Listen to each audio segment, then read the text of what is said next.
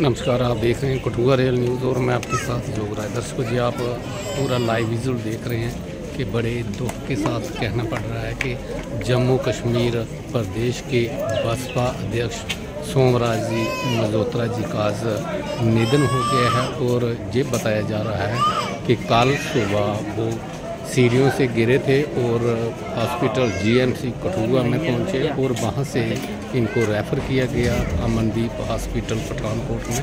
और आज उनका निधन हो गया है। जी आप देख रहे हैं।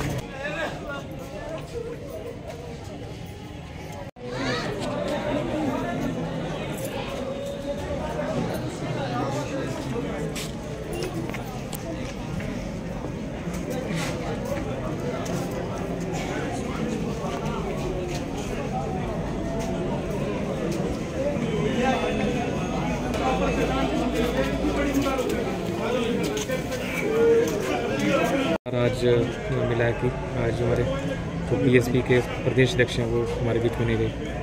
बिल्कुल जी बड़े दुख से ये कहना पड़ता है कि गुजरा साहब हमारे बीच नहीं है।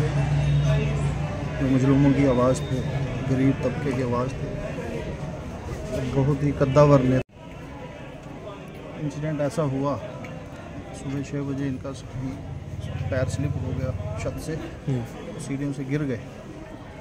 हॉस्पिटल गए खुद चलकर। वहाँ पर जाकर उनका अनकॉशियस हुए कठुआ मेडिकल कॉलेज में, फिर वहाँ वहाँ से अमनदीप हॉस्पिटल पठानकोट में इनको शिफ्ट करिए। लगे थे डॉक्टर्स, मैं वहीं पे था।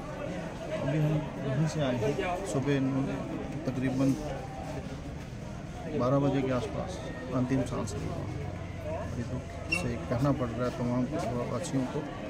कि साढ़े चार बजे के करीब सहारखट कालीबड़ी में इनका क्रीमेशन है।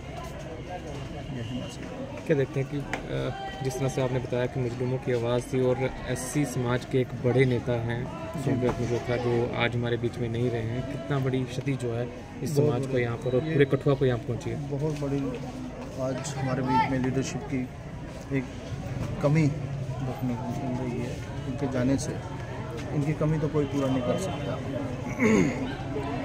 जैसे आपने बोला शेड्यूल कास्ट तबके के लिए, सिर्फ़ शेड्यूल कास्ट तबके के गरीब, मजलूम, किसी भी वर्ग से था, उन सब की आवाज़ मल्होत्रा साहब थे, चलो, भगवान जी को जो